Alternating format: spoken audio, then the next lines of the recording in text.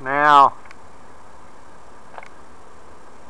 this uh, this tower is used for television broadcast, digital broadcast, but you're next to one of the biggest digital tower, the biggest digital tower. One of them, I think. One of the biggest towers in England, and next to it, Yeah. you got a fucking TV aerial.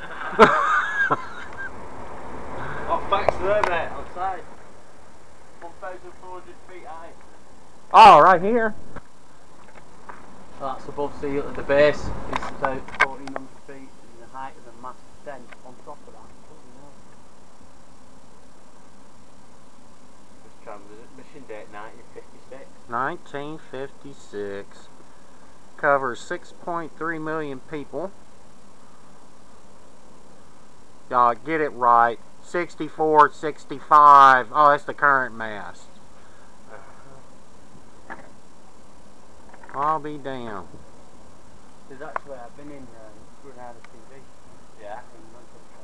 And I went in the off one of the offices. when I was working on Taylor And um, it showed pictures of it being built. Today? Yeah, the guy was, he was at Granada Hey! TV. and showed pictures of it being There's a built. finger there, Jimmy, as well. A finger. Um, this is uh, this is a plane crash. ah. There's uh, there were uh, air disaster here, 1958 as well. Damn, how many people died in that? Uh, that. No, it doesn't.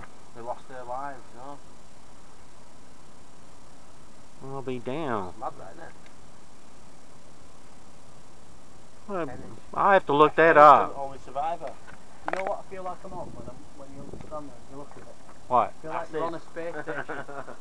like you're on a space station. It's just mad, isn't it? You you're know, just, with you're those, just orbiting. those clouds moving past now. Yeah. Crazy. And that, it feels like we're moving. Well, we are moving. It feels like we're in a big ship. world- It feels like yeah, we're a big ship. That's what I mean, like we're on a space station. It makes me think of an erection. Fucking hell, you need some Viagra for getting erection that I don't need no fucking Viagra.